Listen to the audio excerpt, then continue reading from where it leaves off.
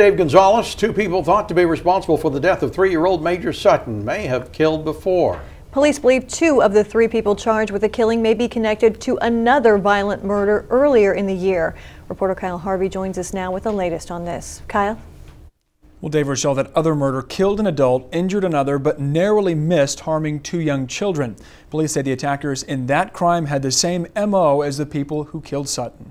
A police report included in the case file says it was the two men, 21 year old Tyrone Johnson and 19 year old David Palms, who pulled the triggers in the November attack on Pershing Street that killed three year old Major Sutton. Investigators believe 29 year old Maisha Dale was their getaway driver. We spoke to Johnson and Palms in jail. They each deny their involvement. I just want the public to know that I'm innocent and that I did not kill Major Sutton and that I feel sorry for the mother of Major Sutton. They sitting up here telling me that just because of my tattoos and where I'm from, that I had something to do with the shootings that are occurring. That is not the case. The whole thing, police say, was gang related.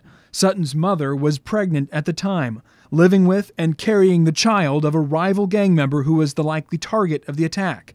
But he wasn't home when the attackers kicked in their front door. Police write in their report that Johnson and Palms are suspects in another shooting nearly a year ago on Q Street. That one killed 18 year old DeLeon Trinell Williams. Police at the time said he was shot while lying in bed with his girlfriend and six month old child. His girlfriend was injured, but miraculously the baby was not.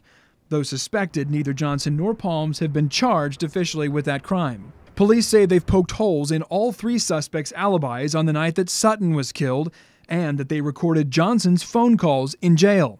That he told unknown female callers that he is going to, quote, take a life sentence, and that, quote, I pulled that trigger.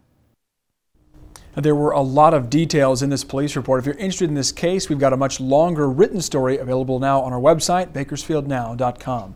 Live in studio, Kyle Harvey.